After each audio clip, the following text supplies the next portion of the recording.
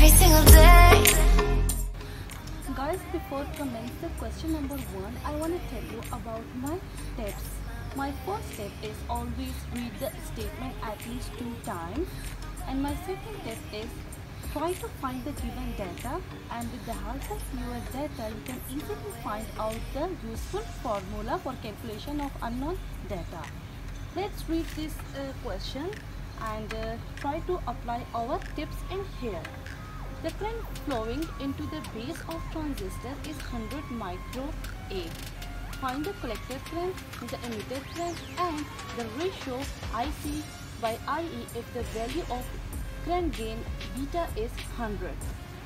Let's read this uh, statement again. The current flowing into the base of transistor is 100 mu A. Find the collector current, the emitter current and the ratio of collector to emitter if the value of gain I mean beta is 100. Let's find out the data from this statement which is my second step. Current flowing through base IB is 100 microampere. Micro means 10 to power minus 6. Current gain that is my next data which is equal to 100 and it is represented with beta. When the unknown quantities are collector current IC, emitter current IE and ratio of collector to emitter current IC divided by IE. These are unknown data, uh, I mean unknown uh, uh, values of unknown uh, variables and these uh, are given data. Let's choose a useful formula according to this demand. FIC, the first formula is useful for calculation of IC because I have the beta as well as IB. I mean current flowing through the base. Mm, for the next uh, unknown data, I mean IE, this one is helpful for me because already I have IB and I will calculate IC from first part. I mean with the help of this formula, formula number 1. Well, for the ratio of collector to emitter current, simply divide IC by IE.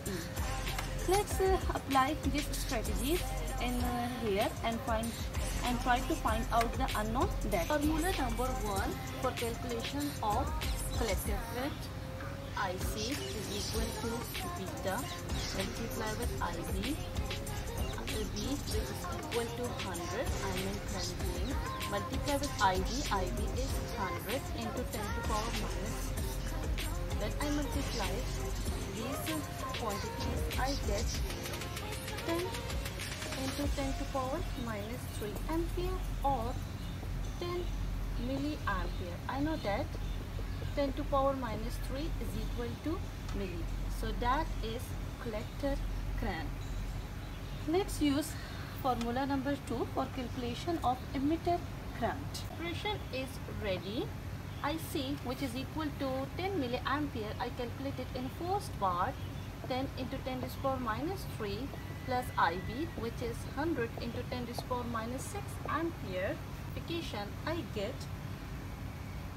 10.1 into 10 to the power minus 3 ampere or IE is equal to 10.1 milliampere.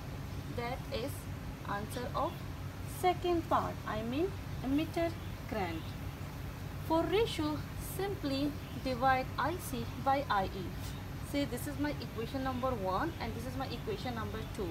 So IC divided by IE is equal to 10 milliampere divided by 10.1 milliampere. After simplification, simply I get 0.999. So that is collector to emitter ratio. Let's move to next problem and you can find solution of next problem in my next video.